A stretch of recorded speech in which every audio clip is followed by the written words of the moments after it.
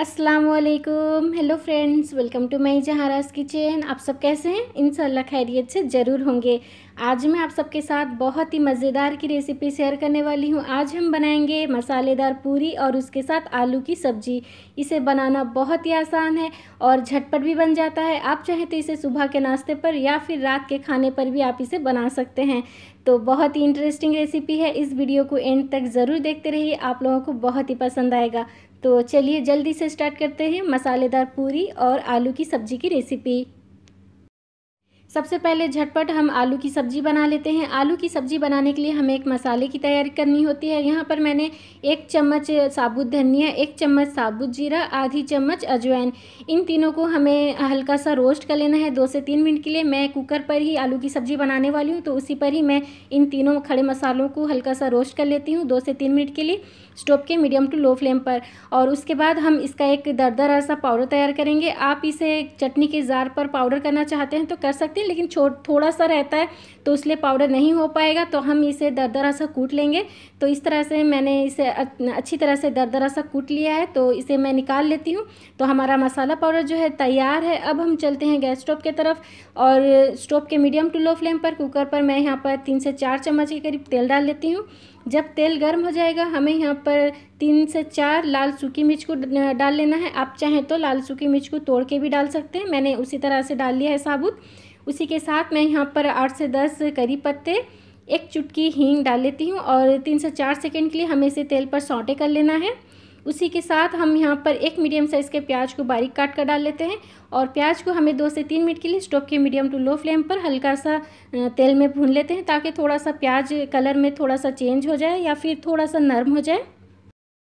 प्याज के नरम होते ही हमें यहाँ पर एक मीडियम साइज़ के टमाटर को बारीक काट कर डाल लेना है और इसे भी हम प्याज के साथ थोड़ा सा भून लेते हैं ताकि टमाटर थोड़ा सा नरम हो जाए।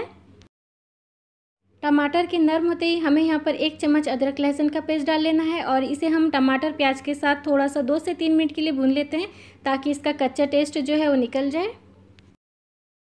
अब हम यहाँ पर पाउडर मसाले डाल लेते हैं। पाउडर मसालों में हमें चाहिए एक छोटी चम्मच हल्दी पाउडर, एक छोटी चम्मच लाल मिर्च पाउडर एक छोटी चम्मच जीरा पाउडर, एक छोटी चम्मच धनिया पाउडर। जीरा और धनिया मैंने यहाँ पर एक छोटी चम्मच के करीब लिया है क्योंकि हमने साबुत धनिया और जीरा भी इस्तेमाल किए हैं। इसका पाउडर हमने बना कर रखा हुआ है तो इसलिए मैंने यहाँ पर एक एक छोटी चम्मच जीरा पाउडर और धनिया पाउडर लिया है। तो सारे मसालों को हम स्टोव के मीडियम टू लो फ्लेम पर भून लेते हैं। इसी दौरान हमने जो पाउडर, स्पाइसी पाउडर तैयार करके रखा हुआ है खड़े मसालों का, उसे हम यहाँ पर डाल लेते हैं। और थोड़ा सा पानी डालेंगे स्टोव के लो फ्लेम पर दो से तीन मिनट के लिए हम सारे मसालों को भून लेते हैं। जब तक हमारे मसाले से तेल ना छोड़ना स्टार्ट हो जाए, हम मसाले को भून लेंगे स्टोव के लो फ्लेम पर। तीन से चार मिनट के लिए मैंने स्टोव के लो फ्लेम पर मसाले को भून लिया। आप देख सकते हैं तेल भी छोड़ना स्टार्ट हो चुका है। तो यहाँ पर अब हमें चार से पाँच मीडियम साइज़ के आलू को छोटे टुकड़ों में स्लाइस में कट कर लिया है। उसे मैं यहाँ पर डाल लेती हूँ। और इसे मैं मसाले के साथ दो से तीन मिनट के लिए स्टोव के मीडियम टू लो फ्लेम पर अच्छी तरह से भून लूँगी।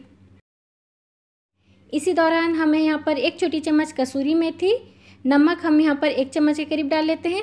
नमक आप अपने टेस्ट के मुताबिक कम या ज़्यादा कर सकते हैं। अब हम इसे अच्छी तरह से मिला लेते हैं।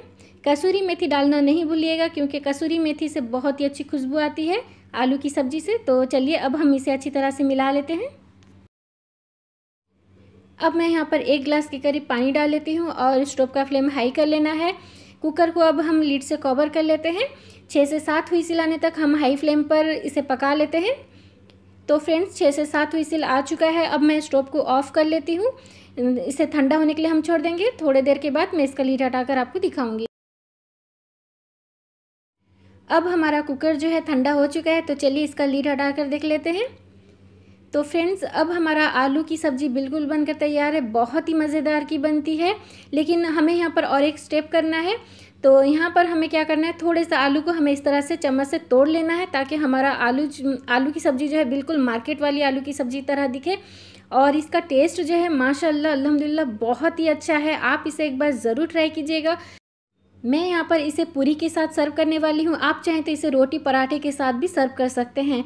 तो फ्रेंड्स हमारा आलू की सब्ज़ी अब बिल्कुल बनकर तैयार है। तो चलिए अब हम मसालेदार पूरी बनाना स्टार्ट करते हैं।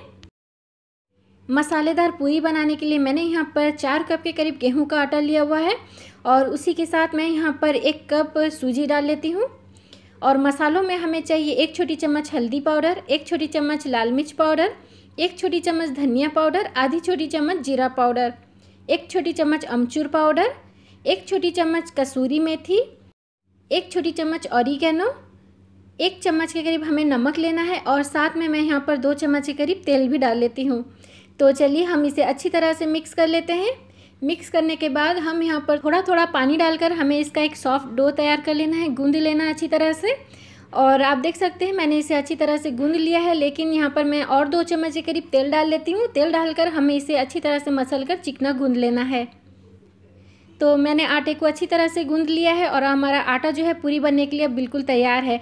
तो चलिए अब मैं क्या करती हूँ इसका पूरी का हम गोला तैयार कर लेते हैं। सबसे पहले हम अगर गोला बनाकर रख लेते हैं तो पूरी तलने में हमें ज़्यादा टाइम नहीं लगेगा और परेशानी भी नहीं होगी। तो सबसे पहले मैं यहाँ पर गोले बना लेती हूँ।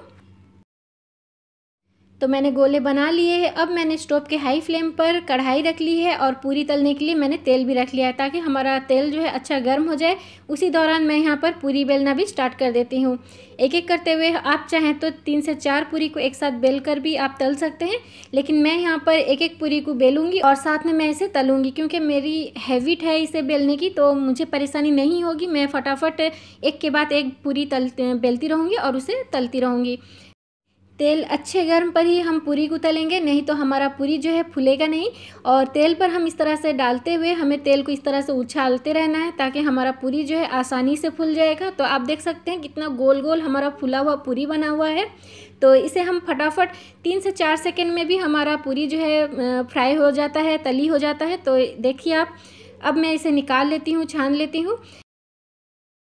पूरी तलते वक्त हमेशा एक बात का हमें ध्यान रखना है, तेल हमारा अच्छा गर्म होना चाहिए। अच्छे गर्म तेल पर हमारा पूरी जो है फटाफट बन भी जाता है। तो इसी तरह से मैं सारे पूरी जो है तल लेती हूँ। तो फ्रेंड्स, आलू की सब्ज़ी और मसालेदार पूरी बनाना कितना आसान है, आप देख ही चुके हैं। आप चाहें तो इसे सुबह के नाश्ते पर झटपट बना भी सकते हैं और चाहें तो रात के डिनर पर भी आप इसे बनाकर सर्व कर सकते हैं अपने घर वालों को। बहुत ही मज़ेदार की रेसिपी है। आप इसे एक बार ज़रूर ट्राई कीजिए। आप लोगों को बहुत ही पसंद आएगा। तो फ्रेंड्स मसालेदार पूरी और आलू की सब्ज़ी की रेसिपी आप लोगों को कैसी लगी प्लीज़ कमेंट करके ज़रूर बताइए। और अच्छी लगी हो तो प्लीज़ इस वीडियो को लाइक शेयर करना मत भूलिएगा अपने फ्रेंड्स और फैमिली के साथ।